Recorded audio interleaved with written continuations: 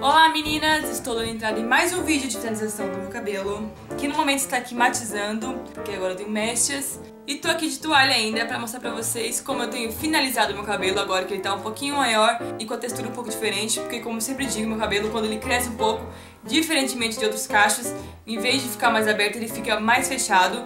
E então isso me permite finalizar de outro jeito Que eu sempre quis finalizar, mas não dava muito resultado Que é com um difusor e vou ensinar o truque também de como o cabelo foi finalizado lá no Oasis Hair com o JP.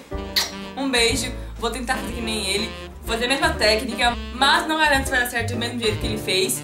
E é isso, gente. Vou achar o cabelo, vou pôr uma roupa e vou começar o vídeo pra vocês, tá bom? No, I'm not a writer. Okay.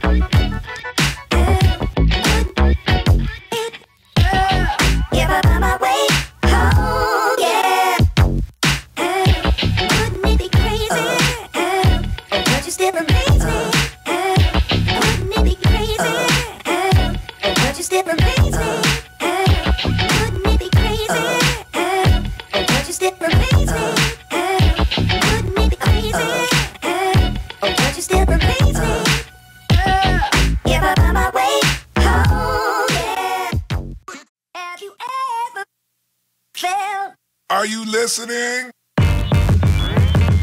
Damn.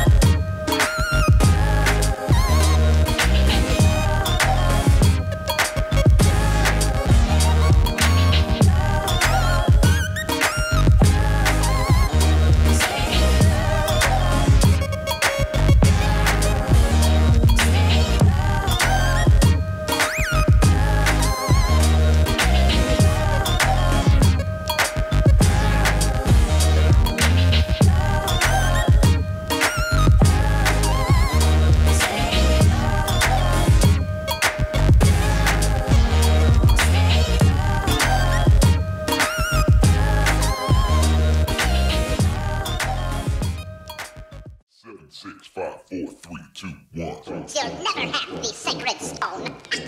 Oh, this you crazy mother.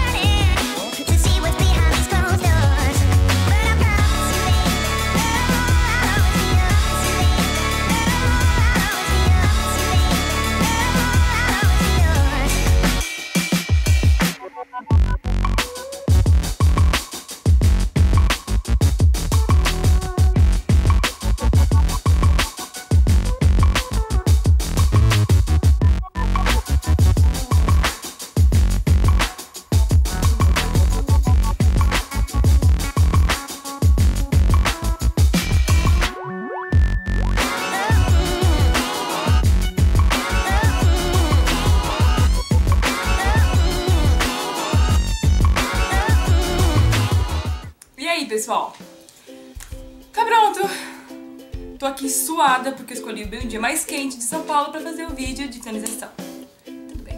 Então, pessoal, agora eu vou falar um pouco sobre esse novo método que eu tenho usado. E eu continuo no projeto Rapunzel, gente, ok? Cabelo está crescendo, mas só que ele estava muito sem corte e, consequentemente, sem volume. Então, o que eu fiz? Dei um corte para dar um pouco de volume, só que eu não tirei comprimento. Entendeu? Mas enfim, falando sobre finalização. Quando eu tinha o cabelo muito curtinho, gente, eu não precisava de usar difusor, por quê? Porque o difusor ele encolhe os cachos, tá vendo? Encolhe mais que o natural. Então isso eu não gostava, porque o cabelo já era curto, então ficava muito curto, entendeu? Com o difusor. E outra coisa, o JP ele me ensinou que a gente tem que secar com o difusor. Ok, secou, cabelo razoavelmente seco, você pega o secador, só ele, e passa jato quente só na sua raiz. O que, que eu pensei na hora que ele fez isso? Vai dar errado. Vai fazer os cachos. Mas não. Ah, outra coisa, eu passei pouco creme, vocês viram? Passei bem menos do que antes. Passei e não passei depois de novo quando tava secando, porque ele falou, Nathalie, infelizmente, pro seu tipo de cacho, você vai ter que abrir um pouco da mão de definição demais, que meu cabelo é bem definido quando seca naturalmente, pra ter um pouco de volume. Ou seja, eu teria que ter um pouco mais de frizz pra ter um pouco mais de volume. E eu gostei, gostei mesmo. E outra coisa, eu sempre nos meus outros vídeos, eu penteava o cabelo pro lado pra finalizar. Agora eu notei que quando ele penteou pra trás, o cabelo não ficou com divisões. Então quando eu coloco ele pro lado, ele fica mais volumoso. Tanto pro lado quanto pro outro, entendeu? O cabelo fica mais volumoso, porque ele foi finalizado pra trás. Então, quanto pra um lado quanto pro outro, vai ficar bom, porque ele não teve divisões na hora de ser finalizado. E outra coisa que ele me ensinou é passar um olhinho antes. Na verdade, não foi ele que me ensinou, foi a Nina Gabriela, mas ele me explicou o porquê. Passar um olhinho antes do creme de finalizar o cabelo. Porque o cabelo cacheado, ele tende a não ter óleo nas pontas do no comprimento do cabelo, porque o óleo da raiz não chega nas pontas por causa do formato. E quando você passa o jato quente na sua raiz, isso estimula que seu cabelo fique armado. Por quê? Porque você tá bagunçando a sua raiz e dando um jato quente nela. Quando ele fez isso, como eu disse, eu achei que não era certo, mas eu amei o resultado. E no final, que ele deu aquela vou no cabelo passar uma pomadinha que eu não tenho, preciso providenciar, só pra memorizar os cachos mesmo, pra dar uma sentada assim, tipo, pra ficar mais tempo. Passar uma pomadinha no final e já era. E o cabelo ficou finalizado. E aí, gostaram desse novo jeito? Eu super amei porque meu cabelo tava muito grande, gente. Eu tava sofrendo muito com a minha mão de ficar assim pra finalizar. Então o difusor pra mim foi uma ótima saída agora. Eu tô adorando finalizar com o difusor. E eu daria essa super dica pra vocês. Eu tinha muito preconceito antes com ele. Todo quebradinho, a Nina que me deu, ó.